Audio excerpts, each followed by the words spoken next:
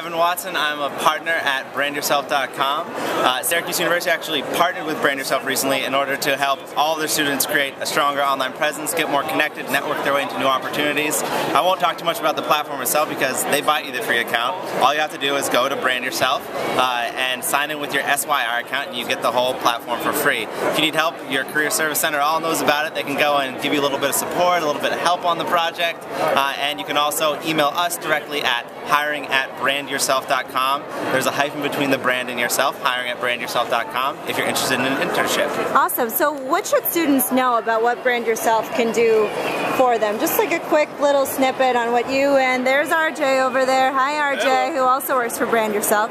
Um, what should they know about what that can do for them? It's pretty awesome to have a free account. Yeah, I mean the biggest thing that they should know is that 90% of employers, well it's a little less now, but 90% of employers have admitted that they've completely dismissed a candidate based on content that they found about a student online. So they should know that employers are searching for them and if they find negative content then that's going to be an issue. But more importantly, a lot of employers do searches and they find nothing at all. And when there's a hard job market, you want to differentiate yourself and brand yourself allows you to do that.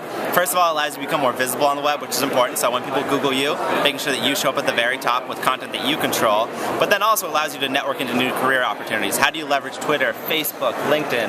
How do you use all those networks in order to find new job opportunities? And brand yourself makes that easy and less time consuming because you can do it all from one central hub. And you have made the decision, at least for now, to stay in Syracuse after graduation. Yep. Tell our students it really isn't all that bad, is it? Because so many of them want to leave right after they graduate. Yeah, I mean, sticking in Syracuse, there's, there's a lot of perks to that.